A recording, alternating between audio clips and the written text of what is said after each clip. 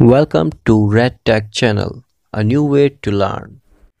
तो आज हम पीएससी एग्ज़ाम के बारे में डिस्कस करेंगे जो है हमारा question paper radiographer question paper 2016 question and answer के बारे में। ये हमारा पार्ट फोर है। Please watch the previous video before watching this the link is given in the description so let's begin question number 71 which of the following is an ionic contrast medium तो हमें given option में से बताना है कि कौन सा हमारा जो है आयनिक कंट्रास्ट मीडियम है। ऑप्शन नंबर ए हमारा आयोपामिडोल ऑप्शन नंबर बी हमारा आयोएक्सोल ऑप्शन नंबर सी हमारा आयोप्रोमाइड ऑप्शन नंबर डी हमारा आयोक्जालेट तो राइट आंसर है हमारा ऑप्शन नंबर डी यानी कि आयोक्जालेट बेसिकली इसका राइट आंसर है।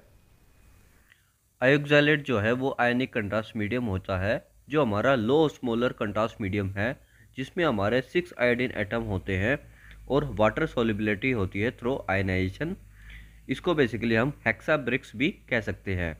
लो स्मोलर का मतलब होता है कि लो रिस्क ऑफ़ कॉम्प्लिकेशन यानी कि इससे होने वाले खतरे जो है वो कम होते हैं और हाई में ज़्यादा होते हैं। Now here you can see that contrast agent जो है वो हमारे दो तरह के होते हैं आयनिक और नॉन आयनिक एक होता है हमारा हाई ओस्मोलैलिटी और एक होता है लो ओस्मोलैलिटी तो हाई में basically high risk of complication होता है। On the other hand low osmolality वाला, यानी कि नॉन आयनिक जो कंट्रास्ट है, वो हमारा कॉम्प्लिकेशन के चांसेस जो है वो कम होते हैं।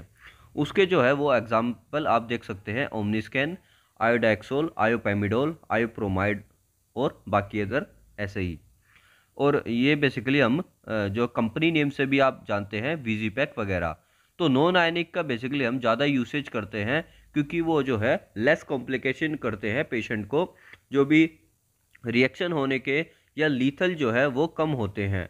तो बेटर परफॉर्म करने के लिए हम जो है नॉन आयनिक का इस्तेमाल करते हैं। Question number seventy two which is not true regarding mammography तो गिवन जो ऑप्शन है, उनमें से आपको बताना है कि कौन सा तथ्य मेमोग्राफी के संदर्भ में सही नहीं है, वो हमें बताना है। ऑप्शन नंबर ए हमारा the generator must be able to maintain a very accurate K V P in the range of 25 to 35 K V P option number B हमारा the x-ray tube has certain special design feature including a beryllium window and molybdenum target option number C हमारा focal spot is very large ये option number D हमारा the tube filter is 0.03 mm of molybdenum और 0.5 aluminium equivalent to absorb x-ray below the optimum के range तो mammography के संदर्भ में आपको ये पता है कि मेमोग्राफी में जो विंडो है, वो बेरिलियम की बनी होती है और टारगेट हमारा मोलिबेटनम का होता है। तो बी इसमें जो है, सही है और ए बी इसमें बिल्कुल ही करेक्ट है स्टेटमेंट रिगार्डिंग मेमोग्राफी तो इसमें राइट आंसर है हमारा ऑप्शन नंबर सी यानी कि फोकल स्पोर्ट जो है वेरी लार्ज जो फोकल स्पोर्ट जो है, वो वेरी लार्ज नहीं होता बेसिकली तो ये जो स्टेटमेंट है, ये इसके मेमोग्राफी के रिगार्डिंग ये गलत है. तो मेमोग्राफी के संदर्भ में जो है स्मॉल फोकल स्पोर्ट साइज़ का जो है, इस्तेमाल किया जाता है, क्योंकि जो उसमें स्पेशल रेजोल्यूशन है, वो काफ़ी इम्पोर्टेंट है. यानी कि जो हमें स्मॉल एरिया को है, वो काफ़ी करीबी से देखना होता है. वाइल जो लार्ज फोकल स्पोर्ट है, वो हमारा शॉर्ट एक्सपोजर टाइम के लिए प्रायोरिटी दी जाती है, जिसमें हमारे बेसिकली 0.3 पॉइंट mm और 0.6 पॉइंट mm होता है usually for mammography on the other hand जो जनरल रेडियोग्राफी है, उसमें 1 mm और 1.2 पॉइंट mm होता है। तो फोकल स्पोर्ट जो है स्मॉल रखा जाता है मेमोग्राफी में due to special resolution question number 73 Stenvers view is use to assess तो स्टेनवर्स यू किस के लिए किया जाता है? क्या देखने के लिए बेसिकली वो हमें बताना है। ऑप्शन नंबर ए हमारा सेला ऑप्शन नंबर बी हमारा मैंडिबल ऑप्शन नंबर सी हमारा greater tuberosity of humerus option number D हमारा पेट्रस टेम्पोरल बोन तो स्टेनवर्स व्यू बेसिकली हमारा किया जाता है पेट्रस टेम्पोरल बोन को देखने के लिए। ये आपको पता होना चाहिए। सो गिवन इमेज में आप देख सकते हैं हमारा स्टेनवर्स व्यू ये हमारा पेट्रोमेस्टोइड पोर्शन है बेसिकली एक्जियोलेटरल ओब्लिक पोजीशन में जो है करेंगे. पेशेंट को जो है प्रोन पोजीशन में भी कर सकते हैं और सिटिंग पोजीशन में. जो सेंट्रल रे है, वो 12 डिग्री सिफेलिड हो बेसिकली सिटिंग में आप देख सकते हैं हेड की तरफ़.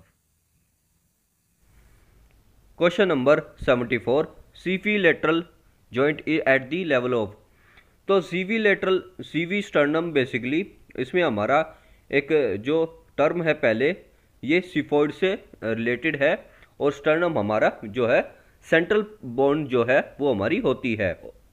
सीवी स्टर्नल जॉइंट किस लेवल पे होता है, वो हमें बताना है। तो स्टर्नम के जो सबसे निचला हिस्सा होता है, उसको हम सीफोइड कहते हैं। तो इसी से लिया गया है ये। ऑप्शन नंबर ए हमारा six thoracic vertebra option number B हमारा ninth thoracic vertebra option number C हमारा first lumbar vertebra option number D हमारा थर्ड लंबर वर्टिब्रा तो राइट आंसर है हमारा ऑप्शन नंबर बी यानी कि नाइन्थ थोरेसिक वर्टिब्रा पे हमारा सीवी स्टर्नल बेसिकली जॉइंट होता है. Question number seventy five lordotic view is use to demonstrate तो लोडोटिक व्यू जो है, वो किसको देखने के लिए किया जाता है, वो हमें बताना है. ऑप्शन नंबर ए हमारा exaggerated lumbar lordosis option number B हमारा पैरानेजल साइनसिस ये ऑप्शन नंबर सी है, हमारा लंग एपाइसिस ये ऑप्शन नंबर डी है, हमारा बेसिकली मिडल लोब कोलैप्स तो जैसा कि आपको पता है, जो लोडोटिक व्यू है, वो हमारा लंग एपाइसिस को देखने के लिए किया जाता है. तो राइट आंसर है हमारा ऑप्शन नंबर सी इसमें जो आंसर गिवन है, वो मिडल लोब कोलैप्स है. हालाँकि ये नहीं होता. तो जब हम चेस्ट पीए व्यू करते हैं तो जो चेस्ट के ऊपर जो अपाइसिस है, उसके ऊपर ओवरलैपिंग हो जाती है क्लेविकल बोन्स की और सम सॉफ्ट टिश्यू ऑल्सो तो उस वजह से जो है अपाइसिस जो है अच्छे से रूल आउट नहीं किए जा सकते। कई बार जो है डाउट होता है अगर एपाइसिस के एरिया में तो लोडोटिक व्यू किया जाता है। Question number 76 in a posterior anterior view यानी कि पी ऑफ़ चेस्ट में, कौन से इसमें स्टेटमेंट जो है, वो सही नहीं है, वो हमें बतानी है। ऑप्शन नंबर ए हमारा cardiac shadow is magnified option number B हमारा scapula is projected over upper lobes option number C हमारा appear more diffusely opaque if over penetrated ये ऑप्शन नंबर डी हमारा is adequate if eight to ten posterior ribs are seen above diaphragm तो right right answer है हमारा, जो इसमें statement सही है वो हमें बतानी थी।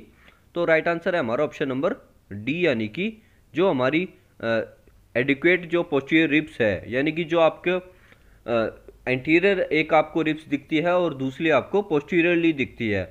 अगर eight to ten posterior ribs दिख रही है अच्छे से डाफ्राम से ऊपर तो वो एडुकेट है और आपका करेक्ट जो है इंस्पिरेशन में अच्छे से जो है सांस रोका है पेशेंट ने, उस नज़रिए से बेसिकली चेस्ट एक्सरे जो है वो आपका सही है।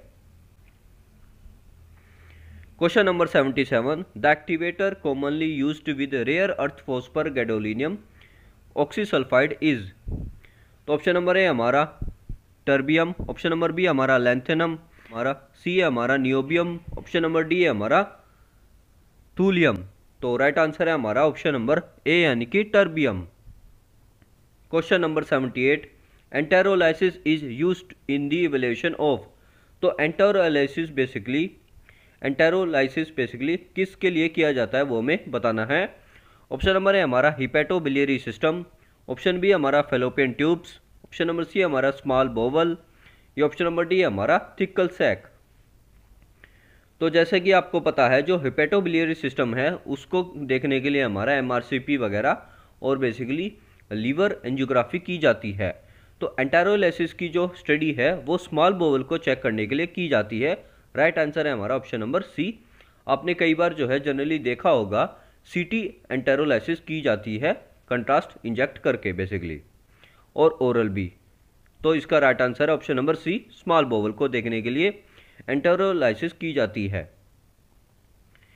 Question number seventy nine S I unit of dose equivalent is तो डोज इक्वलेंट की एस आई यूनिट हमें बतानी है. ऑप्शन नंबर ए हमारा रोंजन ऑप्शन नंबर बी हमारा ग्रे ऑप्शन नंबर सी हमारा रेड ऑप्शन नंबर डी है हमारा सीवर्ट तो राइट आंसर है हमारा ऑप्शन नंबर डी, यानी कि sievert sievert basically dose equivalent की यूनिट है।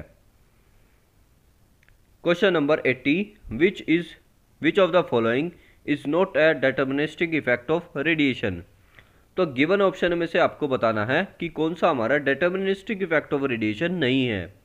ऑप्शन नंबर ए हमारा skin erythema option number B हमारा स्टेरिलिटी ऑप्शन नंबर सी हमारा कार्सिनोजेनेसिस, या ऑप्शन नंबर डी हमारा फैटल एबनॉर्मलिटी।